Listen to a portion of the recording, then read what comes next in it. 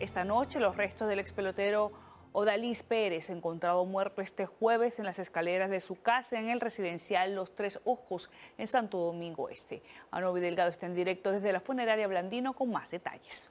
Cuéntanos. Gracias, así es. Desde las 9 de la noche está expuesto en la capilla A de esta funeraria el cuerpo del ex pelotero Odalis Pérez. Varias personalidades se han dado cita en este lugar para despedir a quien fue pelotero de las Estrellas Orientales y los Leones del Escogido. Pérez tuvo récord de por vida de 8-10 en la Liga Dominicana. Su promedio de carreras limpias fue 4.51 en 60 juegos, 30 de ellos como abridor en serie regular. En postemporada su récord fue 5-3, con 3.41 de promedio de carreras limpias en 19 juegos, 10 de ellos como abridor.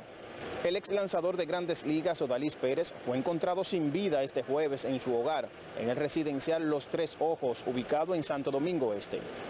El cuerpo del ex lanzador permanecerá en esta funeraria hasta el mediodía de este sábado, momento en que será trasladado a su natal Matas de Farfán. Retorno contigo al set de noticias, Telemicro. Bien, Anovi, por cierto que hay un gran pesar en San Juan por la muerte del exjugador.